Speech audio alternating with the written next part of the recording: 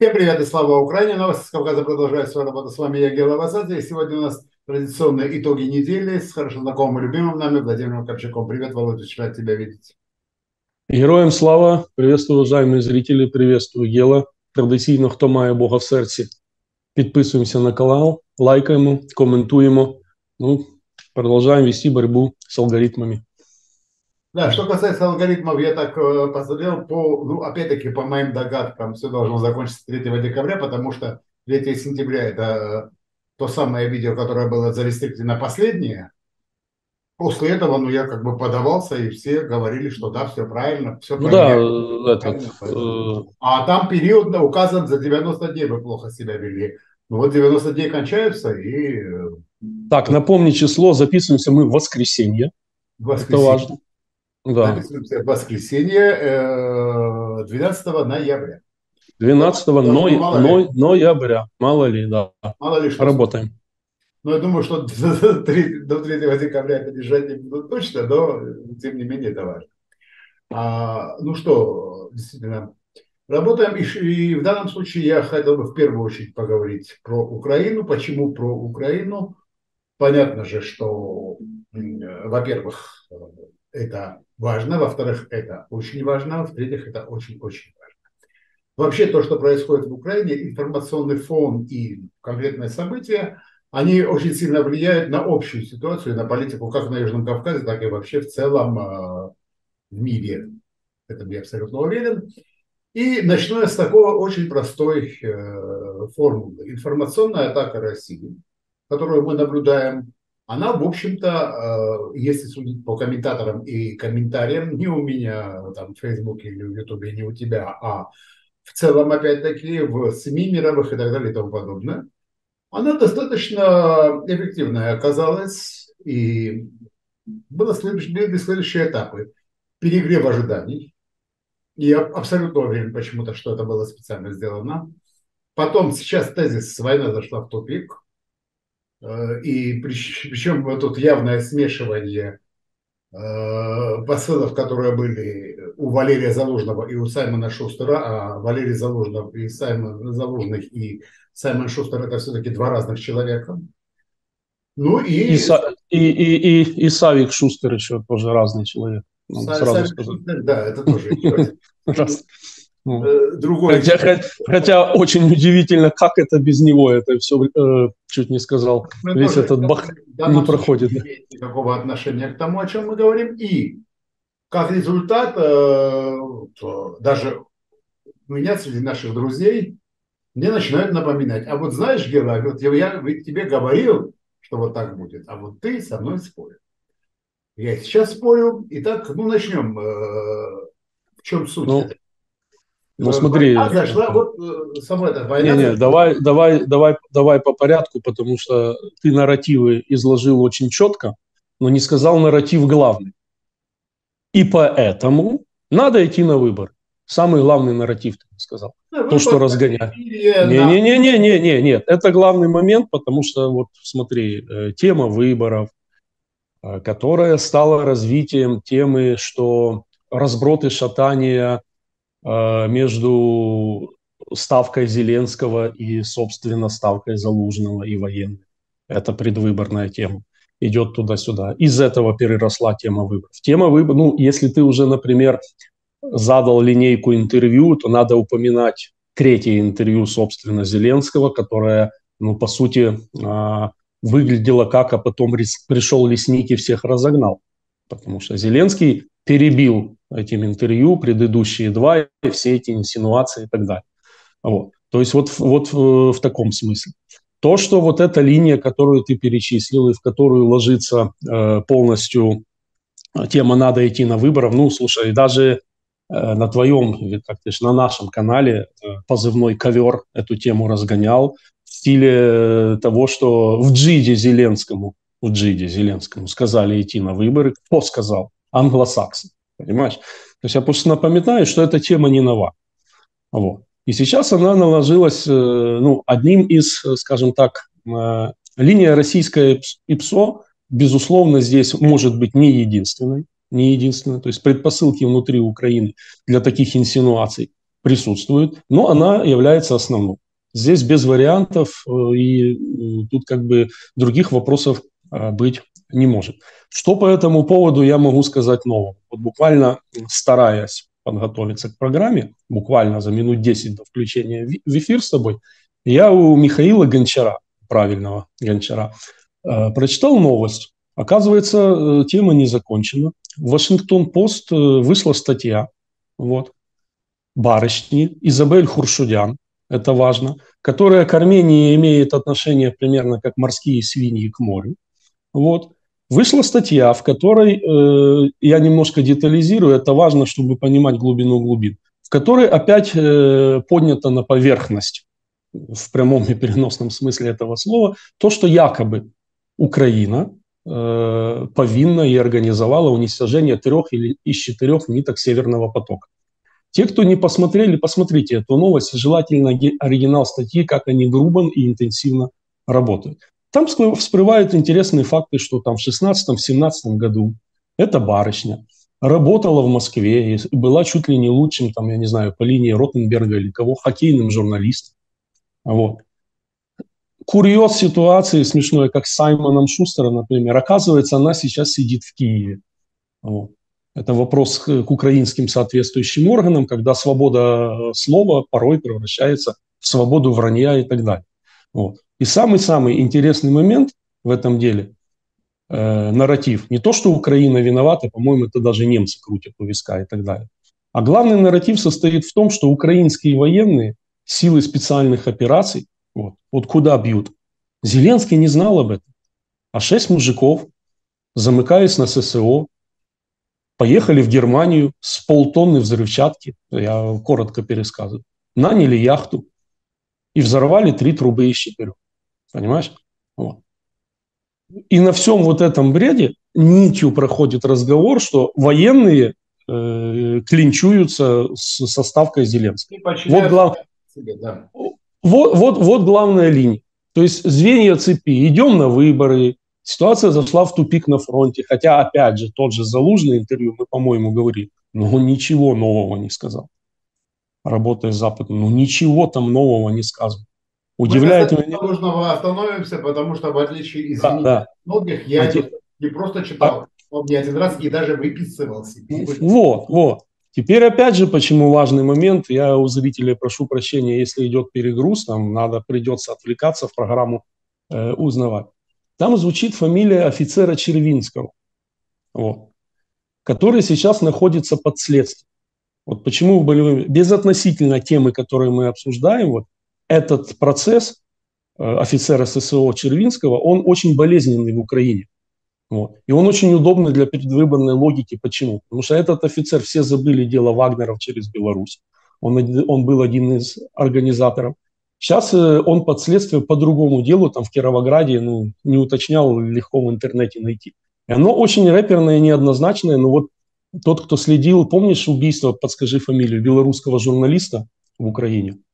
Вот, белорусского журналиста убили и садили, под следствием долго были рифмастер, женщина, волонтеры наши и так далее. А это вам, как его зовут? Ну, известный, ну, по следу своему забыл. Да. Вот, вот. Очень-очень рэперное дело. До, до, да, до, пол, до полномасштабной фазы войны было и так далее. Это вот провожу аналогию. Но закончилось тем, что волонтеров пришлось выпускать. Вот. Я, не, я сейчас не, не оцениваю степень вины и процессуальную часть против Червинского, но вдруг мадам Изабель э, этот, э, Хуршудян, повторяюсь, у нас есть не родственники и не однофамилец в Ереване, вот, просто это. Она э, вдруг э, начинает знать, кто такой Червинский, начинает знать, и он, который сейчас, который сейчас находится под следствием. Это безотносительно то, что мы обсуждаем в Украине, очень рэперная тема, с Вагнера тянется и так далее.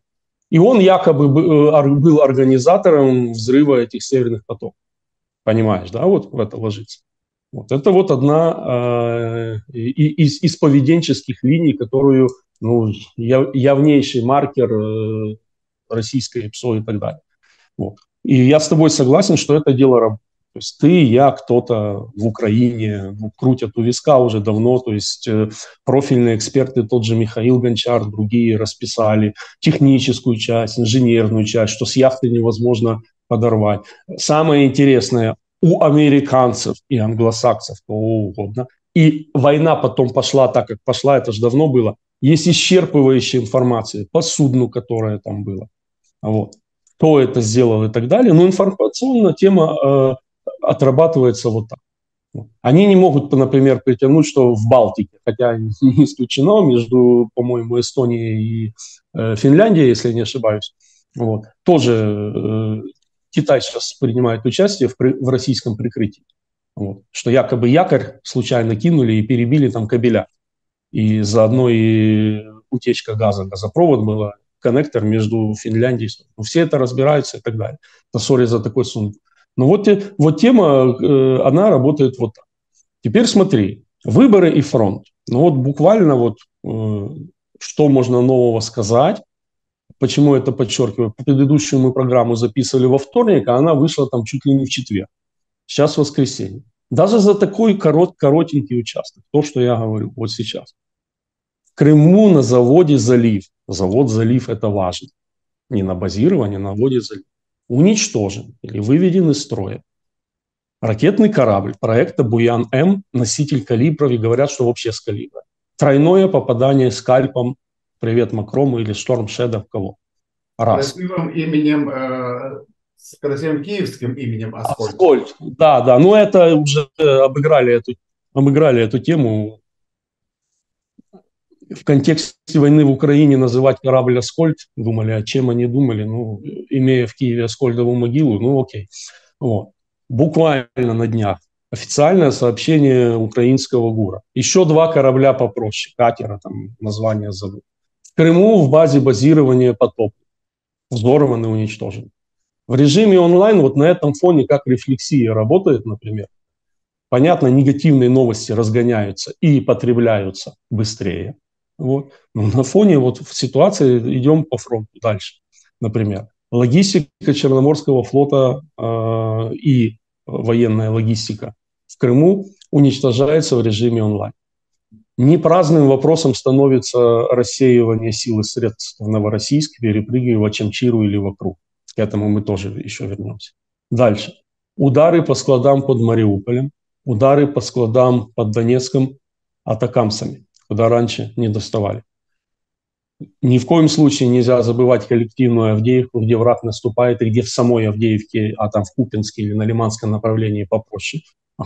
Плохое слово, но тяжелейшая ситуация в Украине.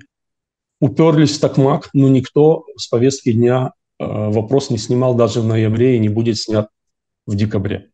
Следующий момент. Левый берег Херсонщины. Это важно. Но уже советую всем читать Константина Машевца. Расширение двух плацдармов идет, населенные пункты известны, держим кулаки, но люди просто безбашенны. То есть тут достаточно на карту посмотреть. То есть, не дай бог, не получится, люди э, работают в режиме чуть ли не смертников, вот. Но если получится, у врага будут проблемы. Держим кулаки дальше. Теперь, буквально накануне записи с тобой. Уничтожены предприятия в Коломне, Подмосковье. Неизвестно чем, кстати. Вроде не бобры. Вот. И уничтожены э, в Тамбове. Пороховой завод. Пороховой завод это. Почему я это все перечисляю? Далеко не все и так далее. Параллельно можно говорить Россия, то, у того же Машевца, посмотрите, формирование армий, Э, перманентная мобилизация, мотивационный пакет мобилизованным, это все надо, поверно, все идет. Так вот теперь, опять же, всегда надо говорить, тема выбора. Вот, зашло в тупик. Так, слушай, вот представь, что выборы когда-то были назначены там, на 14 ноября, мы 12 говорим, как они могут технически состояться? Правильный вопрос никак. Потому что те, кто отыгрывают тему выборов, вот, или осознанно, как, например, Алексей Арестович, или на подкорке говорят, что остановитесь. Цитируют фразу Виктора Федоровича Януковича. Остановитесь и давайте разговаривать. Как это технически можно сделать?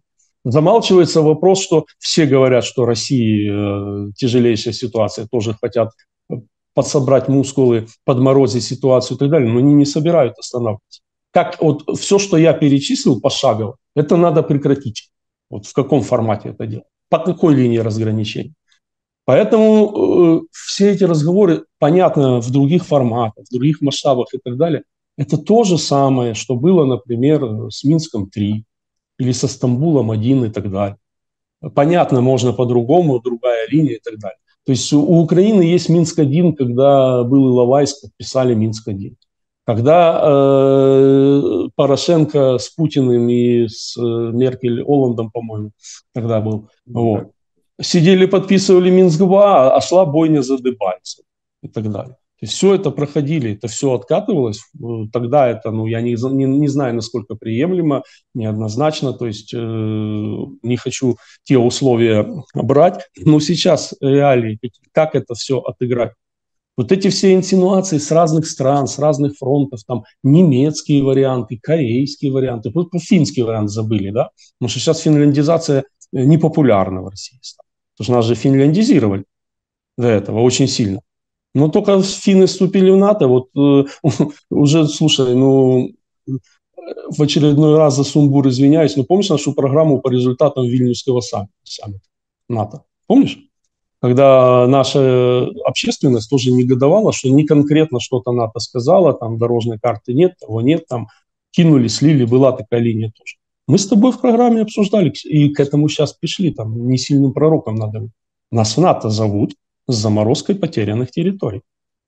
После, это, после этого сказал Киссинджер, после этого сказал Киссинджер это, до того он говорил не брать НАТО ни под каким соусом, сейчас начинаются инсинуации о том, что там Венгрии не пустят, Словакии не пустят. Да послушайте, в НАТО, с одной стороны, люди стремятся, как и в ЕС, в отличие от других союзов, не будем вспоминать ФУЕ. Вот. Понимаешь? Но прием идет когда? Когда эти страны становятся активами, когда в Вашингтоне на уровне англосексии, англосаксов, кого угодно, принимается решение, эти страны стают членами. Можно сколько угодно говорить, там Албания более соответствовала, или Болгария, при всем уже, или та же Венгрия, прости господи. Другие страны В4 в 90-х, как они соответствуют? Конечно, они провели реформы, каждый по-разному. Но тогда было принято решение, мы их принимаем. И они просто было очерчено. То же самое сейчас с Финляндией и со Швецией. Все эти ритуальные предвыборные танцы с бубнами в Турции ничего не могли поменять, потому что на, решение, на момент решения приглашения этих стран в НАТО они стали де-факто уже членами Альянса. Дальше все это оформлялось. Забегая наперед по Украине, если или когда ситуация закончится победой, не устаюсь повторять, Украины, неважно как оформлено. И на тот момент НАТО, это, кстати, не факт, ЕС, будут э, представлять из себя структуры в нынешнем своем виде, Украина станет э, членом этих организаций автоматически. Ну и, наверное, паровозом Молдова по Грузии есть нюансы. Вот так я перепрыгиваю и так далее. Поэтому э, вот э, такой сумбурный спич. Дальше конклюжен мой э, состоит в следующем. Вот. Выборы, выборы, даже сама парадигма обсуждения, проводить, не проводить сейчас, очень вредят украинскому сопротивлению. Очень вредят медицинский факт. Ситуация сложная чем? Ну, много есть, скажем так, э, вопросов, э, проблем к власти. Вот, бру, бру, есть, есть у нас такое слово паразит, там брукивка, брусчатка, по-моему, по-русски. Вот. Крадут, коррупция, одно, второе, третье. Не созданный, не заработал, как хотелось бы, ну или считается, что должен был. В целом военно-промышленный комплекс Украины, сектор обороны безопасности в целом тяжелейшие проблемы э, институциональные с э, системой призыва. Все это есть. То есть, э, если брать комплекс проблем, что вот, подходя к дате выборов, парламентские мы уже прошли выборы, уже привет тот, кто разгонял, что будут парламентские в ноябре, прекрасно мы его знаем, они уже состоялись в кавычках. Ждем март вот, по президентским.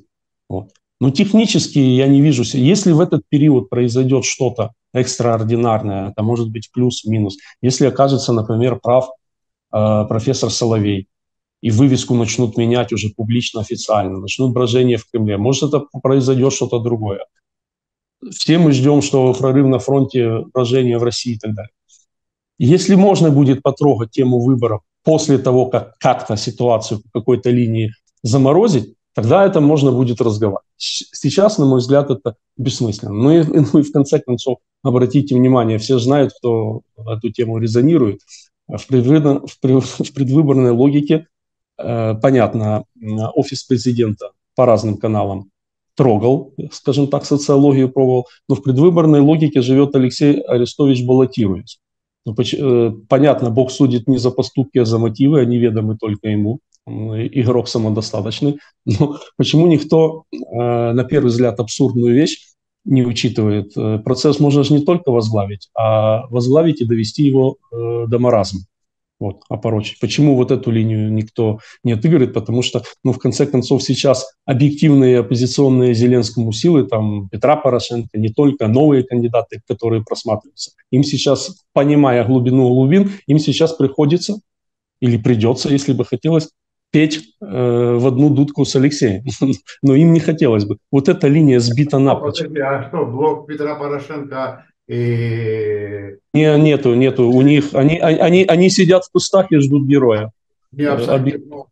Ну, в принципе, ну, и, и, из, из, из, из, из, того, что из того, что я вижу, из того, что я вижу, и из того, что насколько мне вообще лично сидя из Тбилиси такие вещи обсуждать, вот. Ну, я не видел. Понятно, идет критика власти по инерции. Там дурачки депутаты не, не буду называть фамилии и так далее, вообще отыгрывали, э, стали элементом как минимум, как минимум в логике полезного идиотизма о том, что есть инсайды на правах анонизма, что снимают Залужного. Это я, я тебе самые рэперные точки сказал. У нас таких вот набросов на вентилятор есть очень много. Просто Червинский, вот тема опять э, откопали стюардессу, да, вот с дна Балтийского моря достали вот ее. То есть тут уже тема никто подорвал, кто виноват. Самое интересное, это знают. Но взбадривают э, общество. Что, а, а на это накладывается определенная логика в США. Тяжелейшая ситуация вокруг Израиля и в целом на Ближнем Востоке. Э, буквально на момент нашего разговора идут жесткие дискуссии разделять помощь, давать вместе Украине с Израилем, увеличивать и так далее.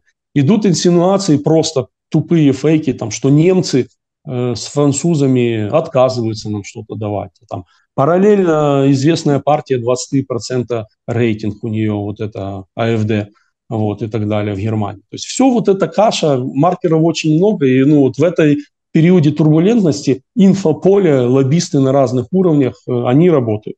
Вот. Подложка к этому есть. Но на мой взгляд, на мой взгляд, ну, сейчас, на момент нашего разговора, ну, не будет выбора не будет пока, потому что их не, нельзя провести технически. Вот и все. Будет выборов, конечно, не будет выборов, об этом и речи быть не может изначально. Я еще раз говорю, никогда не говори никогда, конечно же, но... Понятно, не, не. Рациональным ну...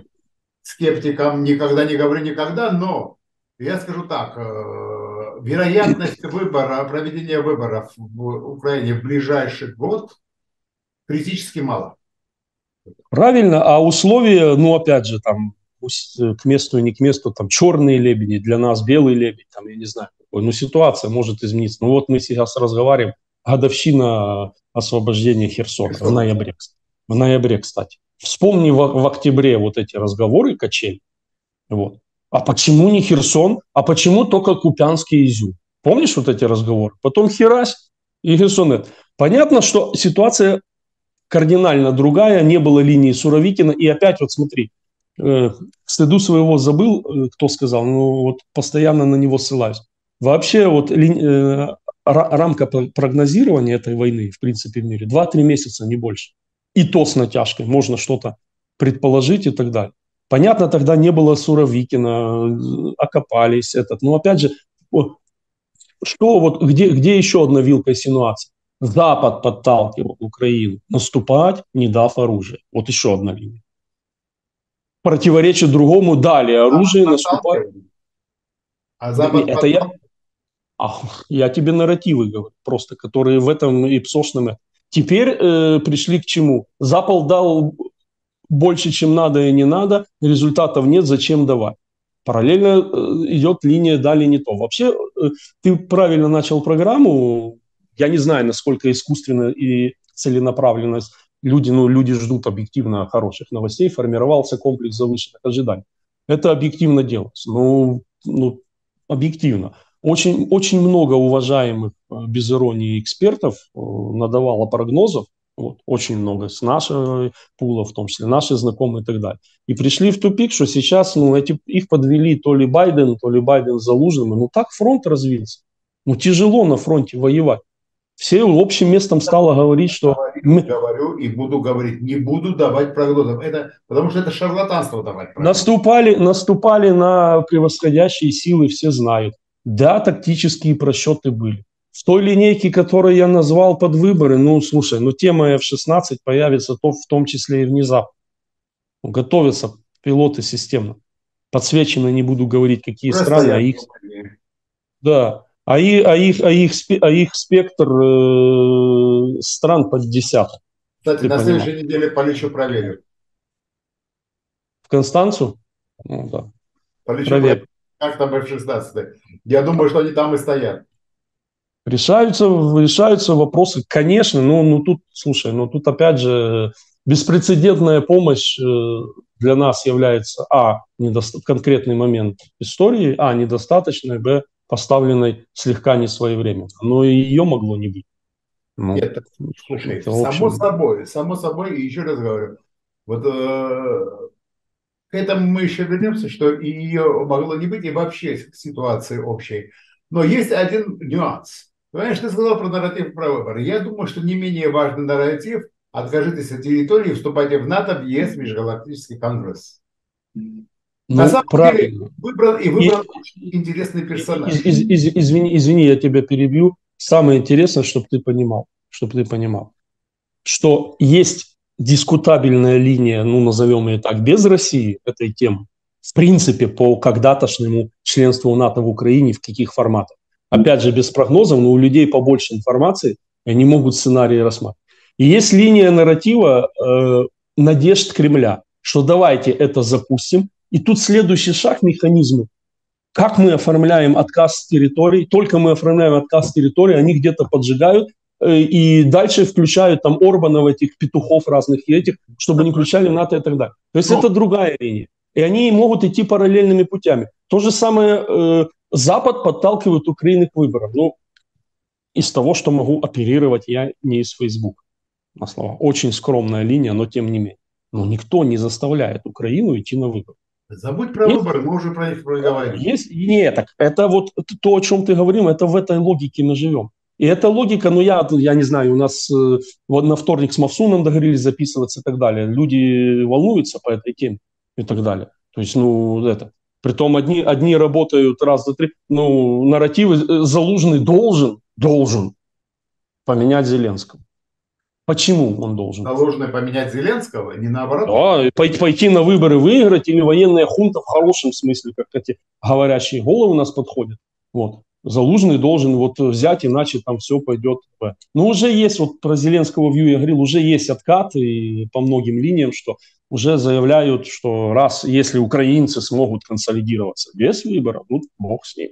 Есть эта линия уже, ну, возвращаемся. Да, если украинцы смогут консолидироваться. Так вот, возвращаясь к этому нарративу. Во-первых, его озвучил правильный человек. Я далек от мысли, я хочу, чтобы вы меня хорошо сейчас услышали, тех, кто слышат, и чтобы не передергивали мои слова. Я далек от мысли, что Расмуссен агент Кремля. Нет, Расмуссен не агент. Нет. Хотя, еще раз говорю, свечку не держал, но на мой взгляд, э, это очень маловероятно. Но это человек, который правильный человек, который, которому подкинули правильную идею, правильную. Потому что Расмуссен, в общем-то, говорил о членстве, внимание, НАТО и э, в НАТО Грузии и Украины до этой большой войны именно в этой логике. То есть Расмуссен, Конечно. а до него эту схему вообще предложил Люк Кофин, говорил о том, что, ребята, принимаем Украину и Грузию в НАТО, но на оккупированной территории не распространяется э, пятая... Да, Гева, да. И, и, и самое интересное, ну, чья пятая... О, извини. Да. да. И вот тогда в этой логике это было, в общем-то, достаточно понятно и приемлемо. Но сейчас, когда этот же нарратив озвучивается сейчас, Ну, понятно же, ну, а как это делается? Кто заставил, не заставил, кто его так подвиг, подтолкнул это написать? Или кто? Это уже тактика, а мы тут по стратегии, извините, ребят. Но то, я, что... Я... Да, да, да. Это факт. Не, ну то, что, смотри, э, ну я об этом же сказал. То есть в структурах НАТО эта тема обговаривается. Но тут опять же, помнишь, я вот опять повторяюсь, 2-3 месяца прогнозировал. Ну представь год назад, до Вильнюсского саммита, до вылезшего Киссинджера, если кто-то сказал тогда, когда еще куча территорий ныне освобожденных были под оккупацией, если тогда кто-то набросил, идем в НАТО, все в дурку его позвали. А сейчас уже сама парадигма, мы это обсуждаем как, ну, как рабочий вариант, понимаешь? Гора, гораздо более рабочий э, того, что до нападения Хамаса один из шести сценариев, он рассматривался, что Хамас нападет именно так, по конкретным кибуцам и натворит такой беды. Но он маловероятен, неправильно были оценены намерения. Так вот мы сейчас обсуждаем членство Украины в НАТО в гораздо более вероятностном формате и так далее. Но самое интересное, до большой войны, ты вот правильную логику подсказал, ну по Грузии мы же хорошо помним, чья пятая палата и шестая э, палата или пятая колонна, одеваясь в мантии каких патриотов, понятно, говорили,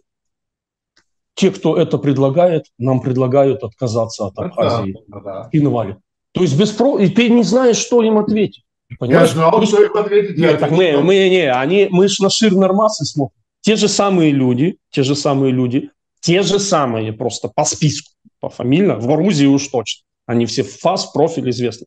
Сейчас будут в предвыборная логика закручивается, мы придем в Грузию, они будут говорить НАТО, ЕС, лучше спокойно, чем вот так идти, как там.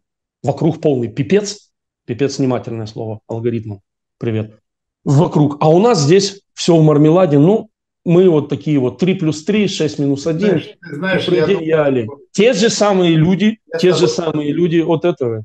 этого те же, э, эти люди сейчас будут писать другое. Смотрите, это мы по Грузии еще отдельно. Смотрите, насколько у нас мудрое руководство, что мы получили. Это, это, это, те, это, те, это те, же, те же яйца только в профиль. Я про членство говорю, а не про кандидатство. Да, но смотри, что интересно. Дальше, что, дальше что происходит. У меня сейчас возникла другая мысль. Слушай, вот таким, ну, в данном случае таким людям, которые это предлагают, а почему бы не предложить принять Украину в НАТО, прямо сейчас без прекращения боевых действий. А какая разница? Не распространяется этот пункт на оккупированной территории. И люди много. Принимать в НАТО, а на эту войну не распространяет этот пункт. Возвращаемся к двум линиям. Линия без России, Асмусона и так далее. Они смотрят в практической площади, как принять. И думаю, этот же вариант как минимум давление на Кремль присутствует. Вот, например, ноябрь прошлого года Херсон. Почему тогда не было запущено то, о чем мы сейчас говорим? Еще до Херсона, до холодов. Пытались выводить Россию из войны. Не получилось, мы получили бомбежку инфра- инфраструктуры. Они прямым текстом сказали, вы останетесь без этого. Прошел ровно год, то же самое. Почему зажегся Израиль? Потому что Россия по своим каналам, не знаю, Патрушева, Соловья, кого угодно, выкатывала, давайте вот так разойдемся. В ответ украинская или проукраинская линия. Давайте будем вот так. Мы пришли сейчас э, опять к бомбежке баллистикой Киева. Вот последняя ночь, потому что похолодало. Все. Вот. И опять же, вот эта линия как разовьется, в пользу НАТО или так далее. Ну, к сожалению, я сейчас говорю, я не хочу накаркать и так далее, но это уже ну, не страшно об этом говорить, или страшно, наоборот, страшно об этом говорить. Но они наделают беды еще, наделают беды еще, что вот этот генезис, он абсолютно будет нерелевантный, который они предлагают. А с другой стороны, вот как ты говоришь, те, кто в пророссийской логике предлагают членство в НАТО, они же уверены, что его не будет. Они же уверены, что сделаете пункт А, а Б мы сорвем как Б мы сорвем через ну, Трампа, через кого угодно и так далее. Знаешь, на Степ надо отвечать Степом. Логичный ответ – на это. Давайте сделаем пункт Б, а пункт А, а пункт А потом подумаем. Вот так, так и делают. А как, а как ты думаешь, что украинцы себя в магазине плюшевых игрушек купили или что? Как Минск-3 наши подписывали? Вот. То Фокина, то Фокина после Кравчука или вместе с Кравчуком Царство его небесное запустили, что там народ ржал просто. Он же луганчанин сам Фокин. Mm-hmm. Вот, ему тут под, под 90 уже, дай бог здоровья, если не больше. И, кто сказал Фокин, я его пропустил. Вот. Так его э, премьер-министр наш э, знак, знак, знаковый чувак. Я вот. знаю, кто такой Фокин. И что сказал Фокин? Он ситуацию до маразма завел. Когда не знали, что делать, это люди изнутри мне рассказывали. Запускали Фокина, чтобы разговаривать с российской Я думал, сейчас что-то сказал Фокин. Не-не-не, это про Минск-3. Как было не подписать Минск-3, не уйти, но конструктивно вести. Запускали Фокина, казалось бы, сам ходит, сам говорит свой номенклатурщик там до мозга костей. Вот. А он им позвоночник выкручивал, они не знали, как с дедом себя вести и так далее. До этого Кучма, Кравчук был. И э, что касается Алексея, он наговорил уже на 40 больше арестантов, но что меня резануло, э, у Романенко в последней программе, он сказал следующее. Вот сейчас, говорит, Запад предлагает это, но рационально он сейчас предлагает, а потом и этого не будет. Потом будут условия еще хуже, потом будут условия Минска, потом будут условия хуже, чем Минск и так далее. Ну, давай так. Э, последовательно, я уже сказал, одну из абсурдных версий, казалось бы. Последовательная версия, предвыбранная, жестко Мочилове, так как он умеет, отрабатывает только Алексей сейчас. Ну вот все, больше Выбор. не добавить. Он не про выборы сказал, ну ладно, не важно. Не, по предложению в НАТО, ну окей, э, ну, фронт решит э, ситуацию, какие будут предложения Украине хуже, лучше и так далее. Но с другой стороны, у меня терзают смутные сомнения, что есть э, предложение в таком лобовом формате. Идите в НАТО, отказывайтесь от территории. Как это механически? Нету таких предложений. Вот и все. Ну, ну а информационная линия есть. Ну, Нет, предложение есть, но а, от кого оно исходит, понятно. Понятно. Теперь э, вопрос следующий, вопрос важный очень важный вопрос. Это вопрос о политических целях войны. И вот ты знаешь, что вот политические цели войны, я слышал очень часто следующее. Э, выйти на границы 91 -го года, а дальше хоть трава не расти. Сейчас меня э, совершенно смутное сомнение терзает, потому что выйти на границы 91 -го года и не нанести стратегического поражения России – это не цель войны, потому что ну, уже понятно, абсолютно очевидно, что я, я понимаю в данном случае логику Украины. Ну вот, вот цель, но это не политическая цель, это военная цель. Я не говорю, что дальше ВСУ должно вторгаться в Россию. Но, не, ну смотри, вот что, здра... что там на границе 91 -го года, как бы это сегодня кому-то не казалось э, нереальным и так далее, то потом да, это будет война не закончится, это факт. А может, можно не выходить на границы 91 -го года, но если Россия как политическая система и как государство посыпется, то это будет уже победа. А потом уже выходили на границы 91 -го года. Правильно. Мы полтора года, ну вот э, рациональная составляющего посыла в Алексея, например, вернемся к нему, просто. Он говорит о чем? Что останавливаемся, окапываемся, а там произойдет что-то с Путиным. Ну, это упрощенчество, понятно. Но мы должны быть на момент, э, когда трава начнет расти, вот там 91 год трава не растет. Вот. Мы должны быть готовы сектором обороны безопасности. Но сейчас же они же говорят, ну, я же тебе не зря сказал после интервью Зеленского, ну, немножко паста в тюбик начала засовываться, что это можно делать там и без выборов, и что мешает э, при нынешней динамике фронта этим же заниматься украинским... Если имели. Об этом да, все да. мы это обсуждали. Ну. Все правильно. Для ну а теперь, смотри, а теперь э, прогнозы не даю принципиально, на факт как угодно, но, но, но смотри. 91 э, год, а там хоть не расти трава, да? Ну, трава может рас, начать расти в России раньше. После того и вследствие того. То есть медицински, э, чисто физически раньше могут наступить, и мы на это надеемся, и над этим работает, там, я не знаю, Запад по разным каналам, Украина стратегии предлагает, там торги идут, я уже не раз Волобуева, Газпромбанка интервью, почитайте топового чувака, который говорит, не надо договариваться с коллективными хорошими оппозиционерами, там Ходорковский далее по списку, надо выходить на негодяев еще больше, чем Путин, и с ними разговаривать, им предлагать и торговаться. Вот этот вот коллектив и так далее. Там находить логику это. Но она тоже утопия, потому что они под китайцами все. Без вариантов. И китайцы им сказали, хотите жить, воюйте, если упрощенно говорю. Не все. сказали, тоже... китайцы, китайцы, а, поверь мне. Китайцы, ну ладно, все говорят. хорошо. Но запомни эту точку разговора и так далее. Уже это, уже я просто устал э, это говорить. Смысл вот мы... какой китайцам говорить, хотите жить, воюйте? чтобы иметь под контролем полностью вассальную всю Россию и этот режим. Китайцы воюют руками русских. Ты это, это так сложно понять.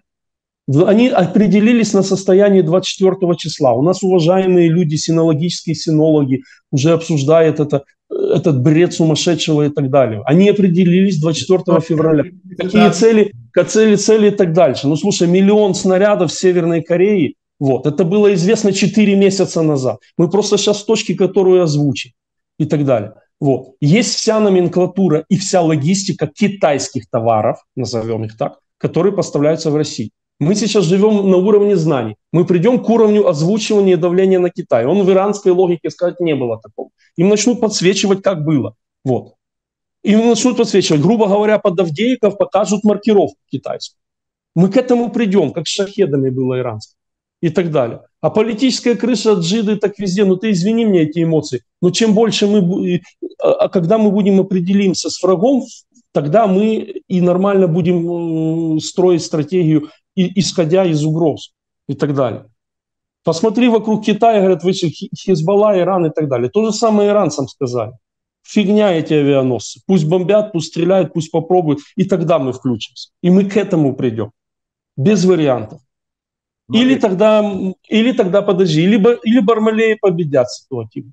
Другого варианта нет победят одно, второе, третье и все до этого. Вернемся, э, давай, в украинские реалии, Это потому сказал, что мы уже... Ты сказал просто разные вещи абсолютно. Одна вещь, как? что Китай сегодня поддерживает Россию. Понятно, что Китай хочет сохранить тот а поддержи... Если... Вот, вот давай, давай так упрощем. Китай не хочет, война. Вот хочет в любом виде. Нет, не хочет.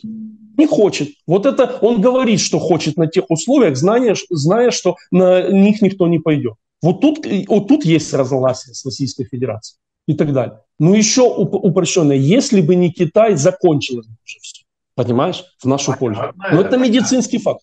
Медицинский, э, э, просто... С этим никто не спорит, слушай. И у нас выходят такие сейчас говорят, ага, блин, в Джиде китайцы были, а там где-то на Мальте китайцев не было. Так, и типа Джида это супер, а Мальта это. Логичнее Мальта. Зачем они там нужны? чем смысл? Если там Орбан был, например, или еще... На самом деле, в Жиде, в Балтии, где они были, где их не было, это не имеет никакого значения реально. Так, дело, просто понимаешь, в чем дело? Я хочу оказаться неправ. Я выступлю, никуда не денется программа и так далее. Если Китай остановит э, войну, повлияет на Кремль и так далее. Фантастика на втором этаже. Мы нет, он не, нет, он не остановит войну. Не будет. И еще, а, самый, а самый простой вариант э, с натяжкой Иран – а в России вот физическая жизнь кооператива «Озеро» властно и Путина в холодильнике, в виде мемов, как угодно, просто завязана на ведении войны физически. Вот мы живем физически, политически, какие-то обсуждают выборы, по голосованию, идти голосовать, не идти. 24 год в Россию. Да в отличие от Штатов и всех остальных стран, там назначат э, либо Васильевича, либо из холодильника Владимировича достанут. И он его просто назначит, нарисует проценты, все. Что мы обсуждаем и так далее. Взорвет эта ситуацию в России изнутри? Нет, конечно, не взорвет. Не будет такого. А взорвать может быть э, абсолютно алогичные вещи, там, а-ля Махачкала, где переиграют сами себя, а-ля бунт Пригожина, а ситуация на фронте, войско сбунтовалось. Пока не просматривается. Вот так. В том-то и все дело, что на сегодняшний день, в общем-то, России отползти, никто не, может. мешает, кроме... Нет, никто не мешает, кроме самой России. При, нынешнем, при нынешнем режиме они отползти не могут. Простая математика. Вот, кстати, вот Залужный в статье опять перепрыгивает. Не может, а режим может. Ну, пока, окей, я уже не, я не верю, что сейчас там Путин самолично что-то решает. Режим не может с вывеской с Путиным. Вот Залужный, например, тема, вот что удивило больше всего. Но это же, ты думаешь, э, Федорович э, верит в то, что, или верил в то, что написал? Ты так, или... ты так легко не это самое, не жонглируй чувствами. Могут не понять, какой Федорович. Валерий Федорович Залужный. Вот. Там же удивление вот у меня, что он написал, что, говорит, ну, ну 150 тысяч без этих убитых, 300 там безвозвратных потерь и так далее. Мы думали, это же игра западной аудитории. Мы думали, что любая нормальная страна при таких потерях остановится. Но миллион ничего не поменяет. по регионам размажут, по некоторым я знаю ситуацию с места. Ничего не будет. Стелы, мертвые города, Волги, маш... вернее, Лады, эти деньги идут толпой. Сколько могут переварить в центре приема, столько народу идет. 200 тысяч плюс, неважно какой курс доллара, э, мотивационный пакет. Я тебе скажу инсайт, если хочешь. Люди со 100 тысячами, 120 тысяч с нефтянки идут на 200 тысяч воевать. Есть прецедент. О чем мы говорим? Когда они больные. А, вот, а возмущаются на каком этапе? Мамаши там и так далее, и так далее. Не могут найти тело, не могут похоронить, плохо одеты, кинули сразу умирать. Возмущение есть маленькое такое, просматривается. Не, не, это вообще ничего не доскачает, поэтому вот ты говоришь. Но, но, но возмущение не идите на войну или остановите войну, его нет. И самое интересное, у Галямова, по-моему, я прочитал, самые поддерживающие войну не воюющие Питер и Москва. Статистику он привел при всех этих, этих э, социологии. Вот. вот и все. И они будут поддерживать, чтобы не шатать этот, и их до последнего. Народу много. Людей мало, народу много. Понимаешь? Вот и все. Нет, все верно. Ну, действительно, а, а чего бы им не поддерживать войну, когда они э, особо ничего... Так я еще раз говорю, что такое война в данном случае? Война же, конечно же, большая часть войны, это належит на солдате, это военное действие. Но война это не только война. Война – это информационный фронт, война – это экономический фронт. И Конечно. на экономическом фронте ну, провалили. На мой, на мой взгляд, э, близки э, правде оценки тех, кто говорит, например, что как минимум Кремль с Путиным, с Васильевичем или с Владимировичем замахнулся до выборов э, Трамп-Байден в Штатах, будут воевать. Вот. И на, это, и, и, на, и, на это, и на эту логику другой рукой информационной продавливается Украина, остановитесь, окопайтесь. А воевать они будут как минимум до рамки, придет Трамп или не придет. И там же опять же вопрос, мы Турцию в этой логике обсуждали. Эрдоган вырулил э, и там и землетрясение без шабаша, без протеста. В Штатах же мы же помним э, предыдущие выборы, какая хаотизация процессов была. Это... Смотри, что на почве Палестины там происходит всех этих Гарвардов и так далее, в Капитолий опять вломились ребята. Вот. То есть там даже не важно, кто будет избран, каким образом и, и ну, на каком фоне и на каком фоне шатания эти выборы пройдут. Они же на это надеются. Тот, кто только на ночь бреется, понимаешь? Вот и все.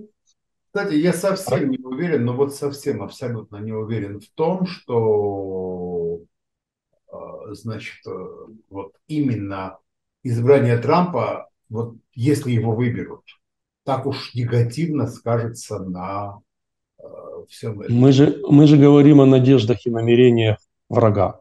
Понятно? Я тоже думаю. Потому что... Ну, у нас яркий самый пример ну, в минимальном формате, понятно, никаких э, аналогий ни по масштабам, ни по чем. Самый яркий пример с Джорджия Мелони.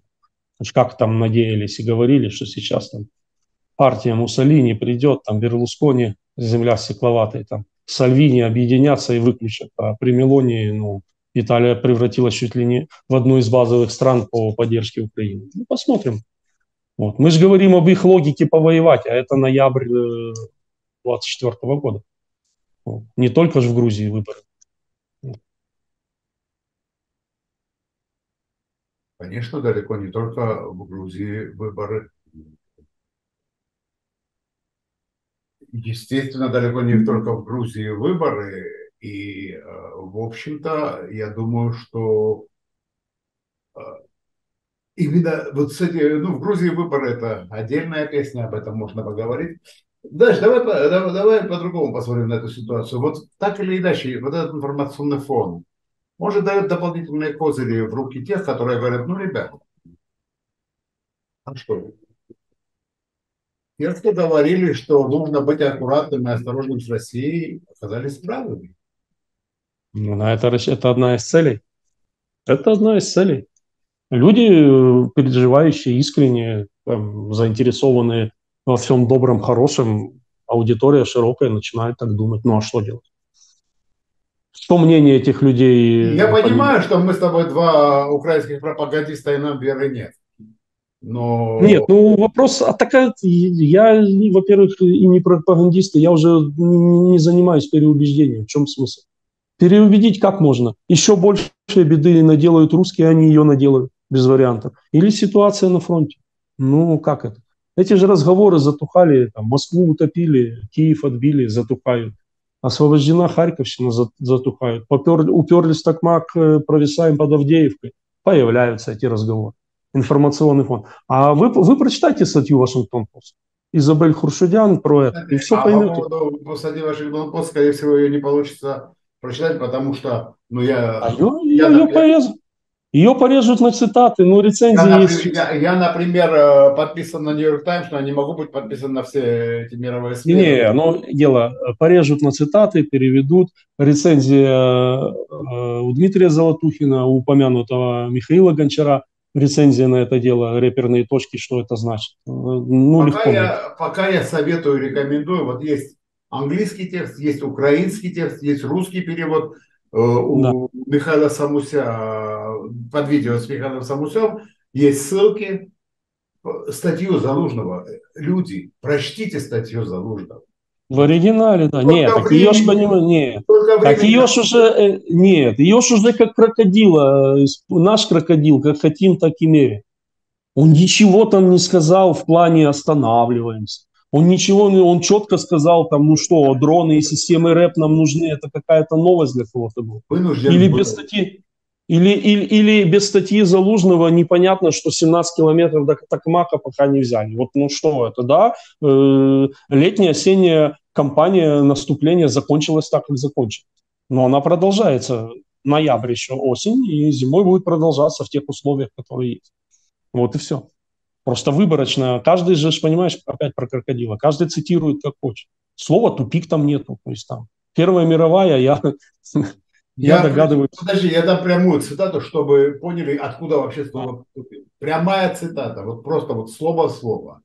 Война постепенно переходит в позиционную форму. То есть даже не перешла, а переходит постепенно. В нашем конкретном случае это выгодно Российской Федерации, поскольку это дает ей возможность восстанавливать и наращивать свой военный потенциал. Для ухода от позиционной формы ведения военных действий необходимо. И дальше идет перечисление. Завоевание превосходства в воздухе, преодоление... А, а, цитиру, а цитирующие взяли и вложили ему в уста, что по факту то, что нам невыгодно, давайте мы к этому и придем. Что, что? Уже нет, нет, не придем, а пришли уже. Да. Что Залужный это сказал. И, ребята, не сказал, ну, извините. Ну, э, дело, предвыборная логика, ты знаешь, как после рыбалки, врут. Все, ну, Какая предвыборная логика, когда нет выбора? Ну, а, к сожалению, ну, даже вот на, наша с тобой дискуссия, недельная программа говорит о том, что, к сожалению, Украина живет в предвыборной логике в том или ином. Выборов нет, не предвидится, но предвыборная логика есть. Сколько мы говорили про Армению, сколько мы говорили про Грузию э, в этом. Ну, в Азербайджане в этом плане попроще, хотя даже там в разные периоды истории Понятно. было, когда вою... в воюющей стране, когда, слушай, война подчинена внутриполитической логике, должно быть наоборот. Я уже задолбал этой фразой всех, но вот э, мы в определенном этапе в Украине, к сожалению, в таком состоянии оказались. Нужны выборы, не нужны, но так как эта тема обсасывается и влияет, ну, ну, радует даже неправильное слово, ну, потусторонняя реальность в инфополе создана, просто потусторонняя реальность. При всем наличии проблем создана потусторонняя реальность. Вот и все. Да. И вот тут мы приходим к э, вопросу, который я поднимал и с Мишей который поднимали у меня комментаторы, в том числе и на Фейсбуке, э, значит, о том, что, черт побери, а почему Украина не централизовалась? Почему Зеленский не стал диктатором военного времени, диктатором в хорошем смысле. Диктатор – это не ругательное слово, это слово, когда, кстати, в сложные периоды Римской Республики конкретный человек становился диктатором римского народа. То есть объявлялся римского Тебя, народа. И, а? Тебя Латынина, Латынина покусала или что? Это она вечно параллель. А причем тут это, я просто говорю, что это не.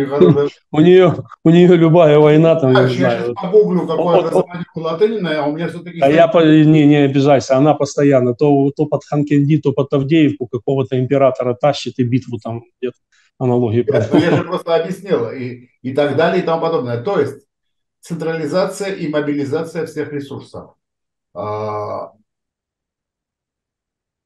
почему этого не происходит? Гела, э, как это, вопрос уходит в зал. Этого, глубочайшему сожалению, в Украине реально не произошло. И э, знаешь, как я всегда оперирую, при таком-то, при, я не говорю Зеленским, при Зеленском есть все хорошее сейчас, и при, при Зеленском есть э, все плохое, тобой перечислено. Этого пока не произошло. Вот и все. И это, как тебе сказать, это самый сильный козырь всех игроков, которые качают, например, тему выборов. Потому что объективные причины э, критиковать э, Киев, назовем его так, власть, э, ставку, как угодно, высшее военно-политическое руководство, оно есть. Но это никаким образом не отменяет э, того, что заворачивает те процессы, как играет враг и так далее. Мы там языковой вопрос можем зачем-то подняли там Фарион. Я просто, ну, зрителям очень часто убегать в Google придется. Ну, много очень проблем есть объективных. Но, топи, но Украина такая, как она есть. Кто-то правильно сказал, мы можем победить коррупцию и получить, э, потерять Украину с коррупцией, без и так далее. Речь идет о, о сохранении страны, государства такого, как оно есть. Вот и все. И это здесь Украина не уникальна. Примеров куча. Вот. Примеров действительно куча. Я хочу просто, чтобы... Я видел комментарии под видео с Михаилом Самусевым. Скажу так, я хочу... Никого не собираюсь переубеждать. Вообще тем более. Просто-напросто то, о чем мы говорим, это те реалии, которые видим мы. Если вы видите другие реалии,